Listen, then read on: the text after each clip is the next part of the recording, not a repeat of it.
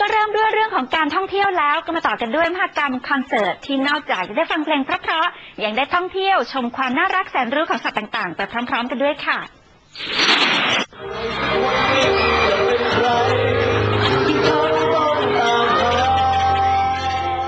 เรียกเสียงกรี๊ดจากแฟนๆได้แบบตึกก้องเลยนะคะเมื่อสองหนุ่มนักตั้มปรากฏตัวบนหลังช้างพาทุกคนท่องไปในดินแดนแห่งนิทานแบบมิสคอโชว์ ส่วนหนึ่งในมหกรรมคอนเสิร์ตส่งท้ายปี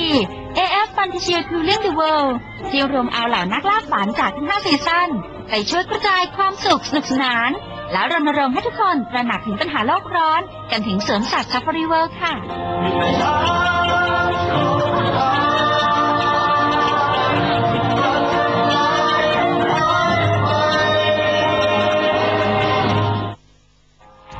จากเวที Elephant Fairy Tale ที่มีช้างร่วมสร้างสีสันแล้ว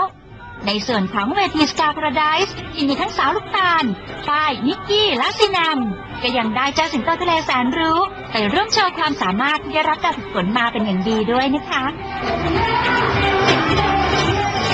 งานนี้ก็เลยไม่รู้ว่าแฟนๆเครียดให้กับความน่ารักของสาวๆ AF หรือความแสนรู้ของเจ้าสิงโตทะเลกันแน่ค่ะ